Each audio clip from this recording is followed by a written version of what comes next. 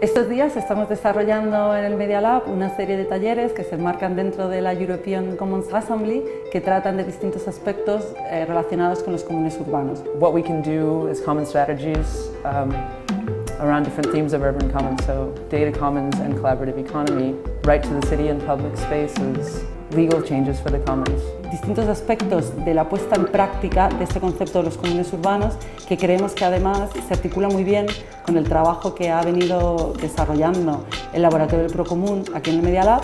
En Media Lab llevamos más de 10 años trabajando en esta línea donde se reúnen personas con diferentes experiencias, de diferentes bagajes para discutir, eh, compartir o dialogar sobre el procomún o sobre los bienes comunes.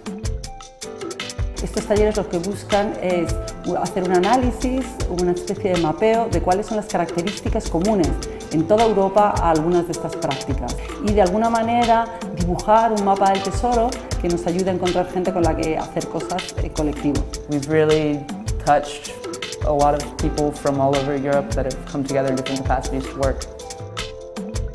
Commons in the city uh, help us to build a, a, stronger ecosystem. We might be moving now from something uh, which you could call a welfare society to a commonfare society could be. An idea that we have which is this idea of a civic university.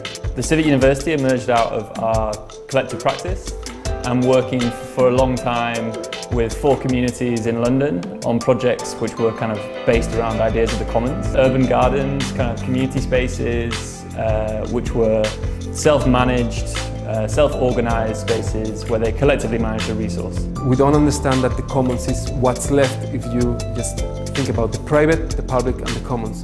They are interrelated.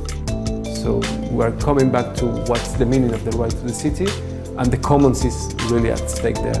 We have to start thinking that we as societies, organically, we start creating uh, data sets that should be also their part of this Commons Cause and that should be available for everyone to search but also to reuse. Our beliefs are that users should be able to securely hold their data, um, publicly validate data such that it can be recognized in the specific data coordination community, um, choose the data coordination communities that they're a part of, um, and also participate in the governance of those data coordination communities. Through data, our daily lives are being monetized um, by big companies who are collecting our data. Pensar que todos los datos tienen propiedad intelectual, por decirlo de una forma, son propietarios de alguien, es un uh, bárbaro disparate. Eh, que todo se puede monetizar, evidentemente hay muchos ejemplos de grandes compañías que hacen mucho dinero con esto, pero un censo tiene que ser un dato privatizable. So that's something we, we'd like to, we, we were discussing and the different, if there's a possibility of other models and how we can protect data, how we can use them for the common good, and, and because there's a lot of value in them, of course. Is one very important principle in international law, the freedom of the seas. These maritime resources, which are there, minerals, fish, they are limited. So that's something uh, which needs to be managed because if you don't do anything about it, these limited resources will be overexploited. So the legitimacy uh, for regulating is in fact a matter of survival.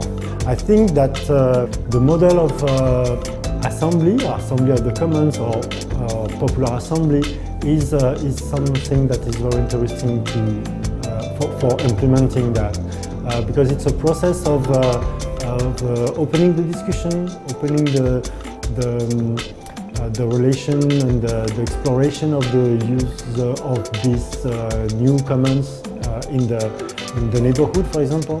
The ECA has to be sort of like a crew that provides the resources to link up people in different spaces all over Europe to work on their own projects. Working together, working on different issues and topics, and creating collaborations, but also producing ideas, policy, proposals, strategies. So that's it's really geared towards the whole methodology is geared towards that.